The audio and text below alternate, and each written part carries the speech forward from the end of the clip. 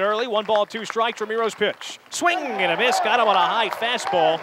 And Seth Romero, here's the 0-2, swing and a miss. Fastball buying him at 95, and it's the second strikeout for Seth Romero.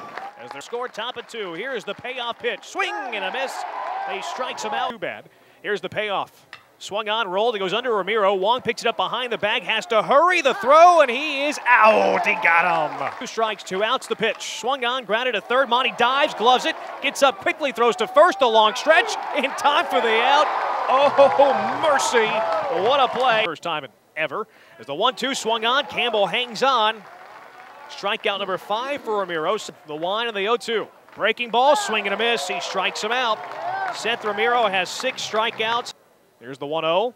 A hard liner towards left field. This ball is going to drop and go to the corner. And one hops the wall. Irizarry has to hustle. Here comes Taylor's throw to second base. The tag, and it's late.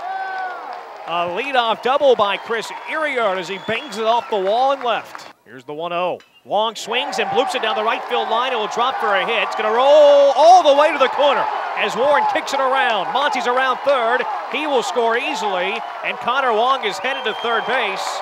And the Cougars have the early 2 0 lead. To allow him to go to third. The 1 1 into left field for a hit.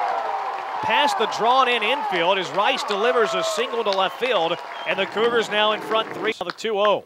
Swung on, grounder hit to second. Stain back to Bird for one. The relay to first, and it gets away from the first baseman and comes to the Rice dugout. This will allow the second runner to score as Jokes touches the plate, and it's now 5 0 Houston. Here's the pitch from Romero. Called strike three, the breaking ball at the knees, and Romero's up to nine strikeouts. Lefty Fletcher's 1 2. Swing and a miss, and a pitch that almost hit him. And Chandler slams his bat down in disgust.